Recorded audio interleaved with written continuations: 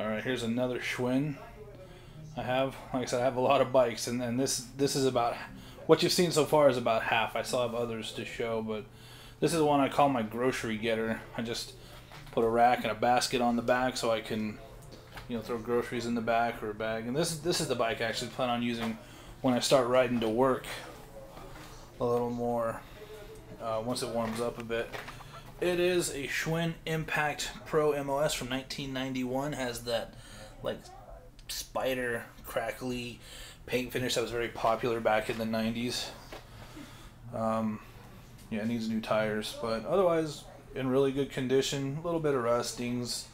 That's about it. You know, chips in the paint. But yeah, 1991 Schwinn Impact Pro MOS. There it is. This will be my bike to work bike. Just got the basket, throw a bag in there, whatever I need. You know, nothing to worry about if it gets stolen or anything. I don't have any any large amount of money put into it. Has all the original uh, Exage 400 LX parts. Uh, let me see if I can. Yeah, Biopace. Where's that? There it is. There's a 300 LX.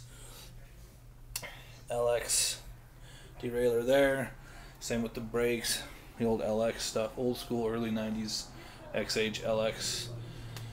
Um, yep, it's my grocery getter. Nothing really fancy. No, it is made in USA.